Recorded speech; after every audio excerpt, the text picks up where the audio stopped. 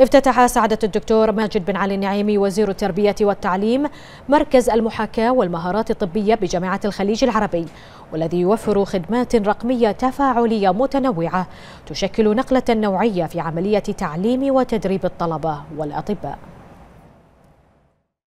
قال سعادة وزير التربية والتعليم إن مركز المحاكاة والمهارات الطبية يعزز من مكانة جامعة الخليج العربي الرائدة على مستوى المنطقة. مؤكدا اعتزاز مملكة البحرين باحتضان هذا الصرح التعليمي الخليجي وحرصها على توفير كافة التسهيلات والإمكانات التي تعين الجامعة على تحقيق أعلى مستويات الأداء وذلك انطلاقا من توجيهات عاهل البلاد المفدى بتقديم الدعم والمساندة لهذه الجامعة المتميزة. وأشار الوزير إلى أنه من المنتظر أن تشهد الجامعة تطورا كبيرا في مستوى خدماتها الأكاديمية والبحثية بعد افتتاح مشروع مدينة الملك عبد الله بن عبد العزيز آل سعود الطبية الذي يجسد عمق العلاقات الأخوية التاريخية بين مملكة البحرين والمملكة العربية السعودية الشقيقة. أن افتتاح اليوم مركز المحاكاة والمهارات الطبية آه، خطوة مهمة جدا في المجال التعليمي والطبي بالذات. آه، تم تزويد هذا المركز بالكثير من الأجهزة وكثير التي تسهل أيضا من عملية آه، التعليم والفحص وأيضا إعادة الفحص مرات متعددة ولا شك أنه بيكون له مردود كبير جدا في الارتقاء بالخدمات التعليمية. كما تم أيضا على هامش هذا الافتتاح المبارك آه، الالتقاء بعدد من الأخوة المشرفين الاجتماعيين ضمن افتتاح ورشة خاصة يأتي في ضمن تعاون وثيق بين وزارة التربية والتعليم وجامعة الخليج العربي لأن إحنا نعتقد أن تطوير مهارات وإحاطة زملائي في الميدان التربوي بكل من الأمور والمستجدات في عالم الإرشاد سينعكس انعكاسا طيبا على الواقع العمل اليومي وكذلك تدريب الزملاء الآخرين. لأن الجانب السلوكي له تأثير كبير على الطالب وما يتطلب قدرة ومهارة على التعامل معه.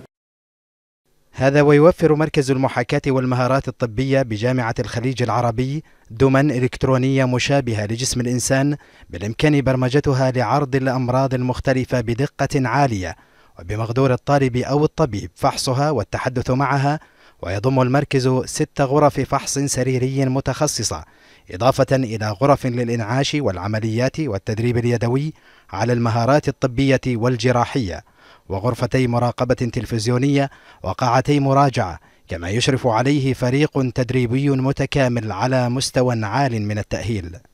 ومن جهته أكد الدكتور خالد عبد الرحمن العوهلي رئيس جامعة الخليج العربي إلى أن تأسيس هذا المركز يأتي في إطار خطة الجامعة للارتقاء المستمر بمستوى خدماتها الأكاديمية والبحثية وتطوير مخرجات طلبتها حيث سيسهم هذا المركز في التدريب على معالجة الحالات الطبية الصعبة في بيئة رقمية تفاعلية آمنة.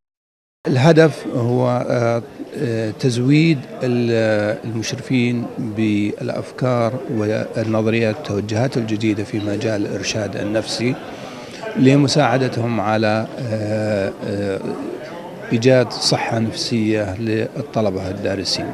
اليوم كذلك آه، تم افتتاح تحت رعاية آه، سعادة الوزير ماجد بن علي النعيمي افتتاح مركز المهارات والمحاكاة والمهارات الطبية الجديد الذي افتتح في الجامعة.